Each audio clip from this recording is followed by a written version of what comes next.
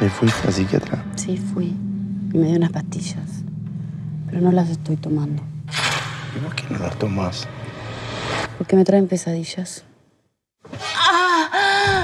Por el hombre de tus sueños. Leopoldo. Leopoldo.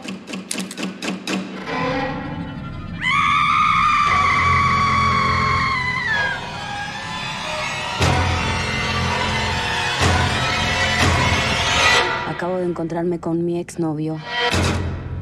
Muerto.